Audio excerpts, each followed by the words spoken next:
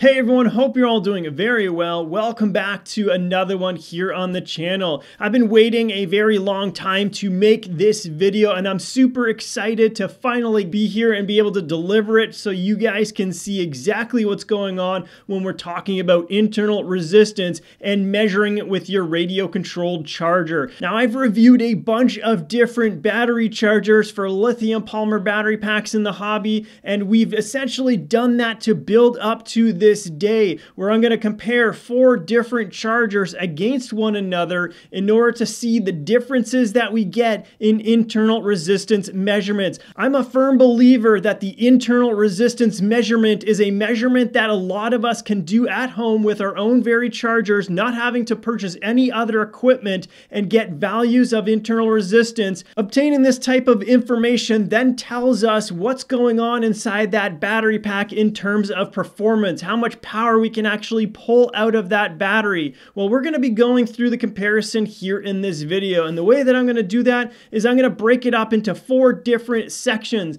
The first one that we're gonna jump right into after this is we're gonna look at the exact testing method that I'm using. Then we're gonna take a look at the comparison of minimum and maximum values for all of the readings that we've done across all the different chargers. And we're gonna look at the averages as well as a few other data points there as well. Then what I have for you is a really cool graph that I've done up that shows each one of the battery chargers and the measured data that comes from it, all color coded. We're gonna compare that up against the actual data during an actual actual load test. So this is real, real world results. We're going to compare our internal resistance measurements up to those real world results, ultimately showing us what's going on within our measurements. And then lastly, what I'm going to do is I'm going to compare the internal resistance measurements that we've done here. I'm going to take a minimum, I'm going to take a maximum within a certain battery pack, and we're to look at the worst case scenario that we've measured here today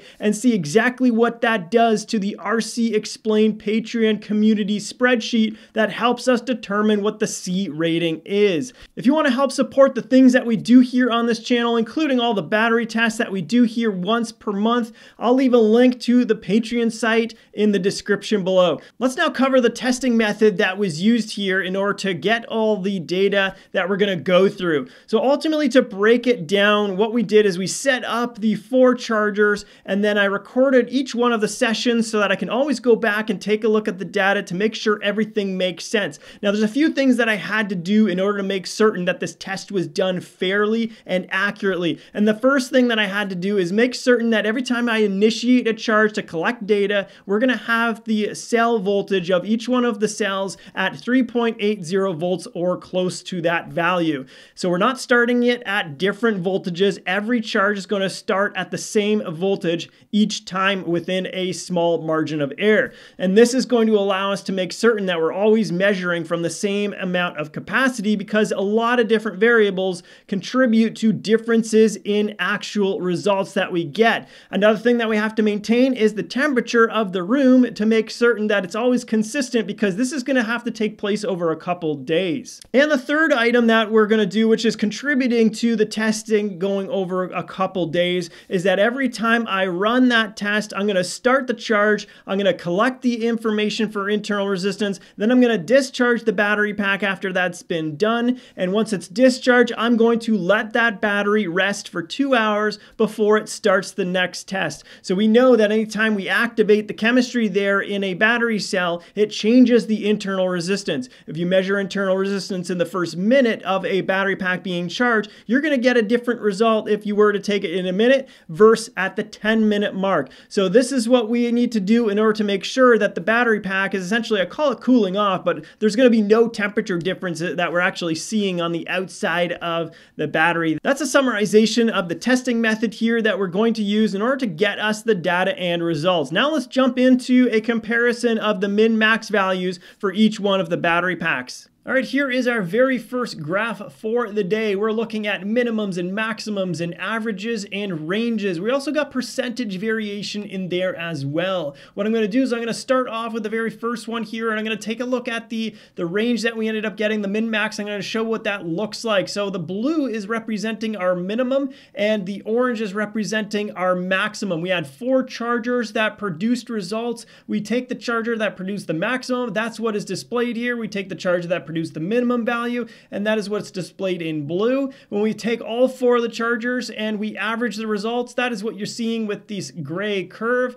And then if we take the difference between maximum and minimum, this is gonna give us the range. This is the yellow curve at the bottom. You could also interpret this as the variation from max to minimum. And then if you take the variation and you divide it by the maximum voltage, you're gonna get this blue line, this blue curve, and this represents represents the percentage variation. When we take a look at all the data, now that we understand the legend and how that works, the biggest difference that we see between curves representing the highest amount of range is where the yellow peaks, and that is the highest amount of variation. And you can see that from the orange curve to the blue curve. However, this is not the biggest percentage difference. The biggest percentage difference is actually coming from these lower values. And this is why the Azure battery pack has the lowest amount of resistance resistance as we can see throughout this entire uh, graph, but it has the highest percentage difference in terms of that variation. So the variation there is approaching that 40% mark and that is going to be the highest. We're going to use that as an example later. We'll also take a look at the Spektrum and we'll use both of those as an example here very shortly. All right, guys, now we have that really cool graph that I want to show you. Let's get that up on the screen and go through it. All right, I'm really excited to show you this graph. This graph took a while to put together. Once I figured out how I wanted to lay it out, then things went a lot faster. But what we essentially have here is every graph here along the outside represents the charger that we're using. All the colors are common across the battery packs. And then we look at the one in the very middle at the bottom. And this is the actual load test that we've done here on the channel where we load the battery packs at 105 amps. Why? Because in this case, for us in this video, we're gonna be able to see the actual data. This is how it actually performs. So we can see based off of the graph, we got lines that are sloping positively for all of these charger-based datas, and then we have the line that is sloping negatively here on our load test. What's important here is that the batteries that are performing best from our charger's IR point of view, the internal resistance, is values that are lower. For example, the Azure, this is the placement. The rank of this battery pack is number one here on the Gens Ace charger. Now, if you look at the other one that we have here, this is the load test, it's going to be the opposite because now this is about performance and more performance is better. So bigger values equals better for us here. Another point that I want to make here is that the polar Polaron charger here in the top center. This is the one that we use here on the channel. This is the one that pulls all of our values and produces the graphs that we see when we're talking about internal resistance. This is the one that we use when we go and compute the C rating, the actual C rating based on IR. This is what we're using.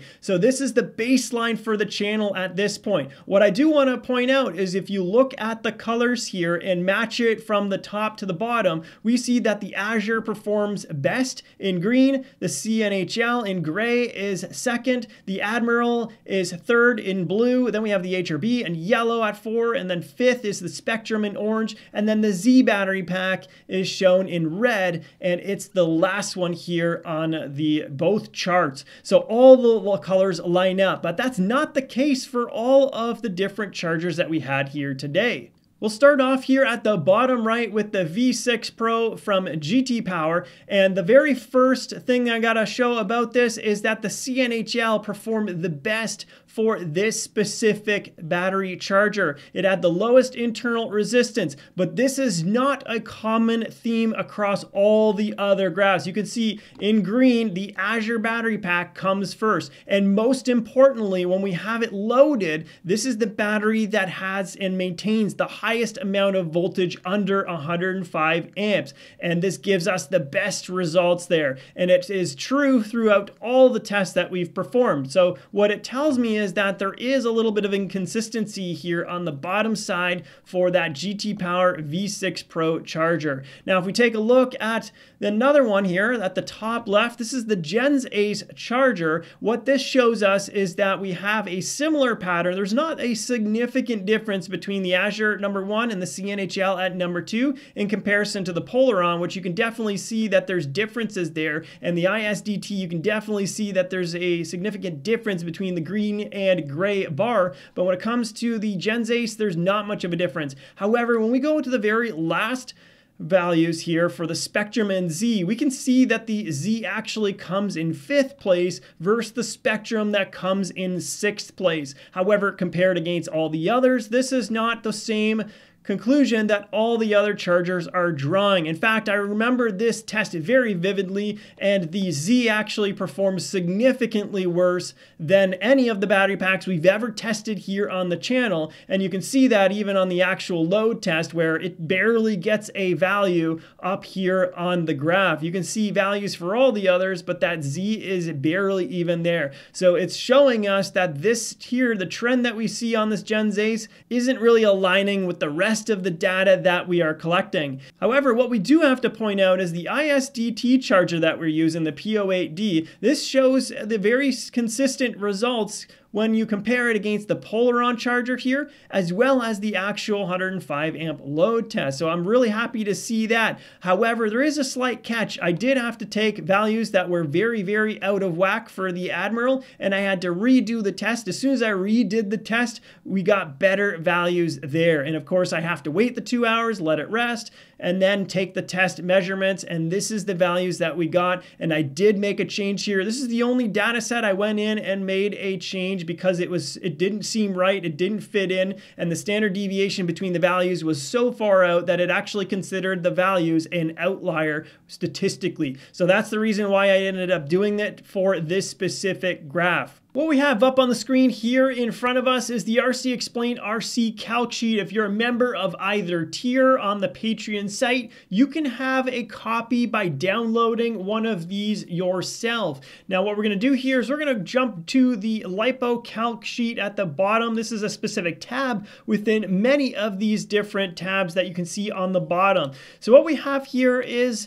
a bunch of values that we're going to be taking a look at. This is the capacity of the pack. We're also going to be taking a look at the value we have to enter in, and that's the average cell internal resistance. Now, we've already averaged all the resistances that we measured within the charger, so we can just take those mins and maximums. And what I want to do is I want to compare those and see what kind of difference does it actually make when we're looking at the performance of the pack. And this real lipo C rating calculator is going to help us determine that. So now let's jump right into it and put in the very first specification. We're going to start off with the Spektrum battery pack. So the Spektrum battery pack had the biggest range, the biggest variation at 2 milliohms. So we're going to go and place that in there. And I'm going to start off by putting in the 5000. Both these packs that we're looking at are 5000 milliamp hour. And the internal resistance I'm going to put in is the maximum first. So that's 6. 14.13. Now we get 14.3 C, and this works out to a maximum continuous current of 71 amps. I'm going to go and put that value in here so we have that. I'm also going to now take a look at the minimum value. So 6.13 is the max, 4.1 is actually the minimum there that we measured with one of the four chargers. This is going to represent, you know, the worst case scenario, looking at the worst charger that we had a result from or the maximum, it's not necessarily worse, but it's the maximum and the minimum. This results in 17.5 C as well as 87 amps. So here you can see the difference. Now what I also did here is I threw in the C rating that the label actually has on it at 100 and if you do the math, the maximum continuous current according to the label is 500 amps and we actually measured this pack as a fail at around 100 amps. What this tells us is it is much less than just 100 amps. So this is looking a lot closer in both cases than the actual 500 that the label tells us. Let's do the same same thing with the Azure pack. So the first one that we have, it's again 5,000. Our maximum is 2.08. This gives us a C rating of 24.5 with a maximum continuous discharge of 123. And when we look at the other value there on the minimum side, 128 and we get 31.3 C with 156 amps. So this does represent more of our absolute worst case scenario in all the tests that we've done, including eight different battery packs. But the actual difference between C rating, you can see the difference here in C rating is more than five. In fact, it's closer to around the six mark, six C difference. Versus in this one we're about three and a little bit three and change. What actually makes the biggest difference here is the percent difference and not necessarily the actual variation of 0.8 and this goes back to our charger. Our charger struggles to measure internal resistance at that very very low end. And if there is air at that very very low end then this is just going to get amplified in our results. So a very important point to note here when we're taking a look at it I did find this quite interesting. I didn't anticipate on doing this, but I'm going to throw in the best case scenario as well, just to give you an idea of what the best case was. And that is looking actually at the Z battery pack. So I'm going to have Z at the very bottom here, and we're going to take a look at it. It's actually a 5200 milliamp hour pack. So I'm going to get that into the data set. And our maximum value that we're going to start off with is 6.45 milliohm. This gives us a C rating of 13.7 with a max continuous discharge of 71 amps from our larger 5200 milliamp hour battery pack. Obviously, it's not that much of a difference here. Let's get our other value in, and that's 5.43 milliohms, giving us a 14.9 C rating with 77 amps as our maximum. Now, what's really interesting about this is this is a 15.9% difference here in terms of our variation, which is actually only one milliohm. And of course, this is the battery pack that's on the opposite side of the spectrum. It's over 5,000 milliamp hour, but it doesn't have a significant range. But because it's a larger milliohm value, the resistance value is larger, it's going to be easier for our charger to be able to measure this kind of value more consistently. If this doesn't make sense, that's okay. Let's jump in and take a look at the values here. The actual C rating that we get from our internal resistance measurement is 13.7. This is IR base C rating,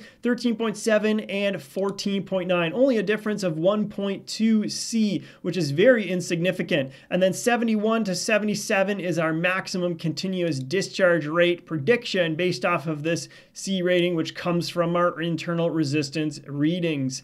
To sum things up here, there's not a significant difference in the C ratings from our maximum result versus our minimum on the worst case scenario that we've gone through.